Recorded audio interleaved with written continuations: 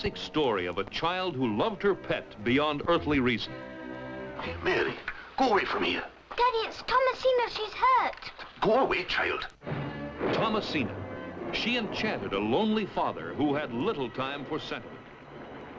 And a girl who believed in the power of love. Hey, mind yourself. Drop it. It'll tear your throat out. It'll not harm me. No creature ever harms me because they're not afraid. Invite your family to enjoy a magical hour this week on The Wonderful World of Disney.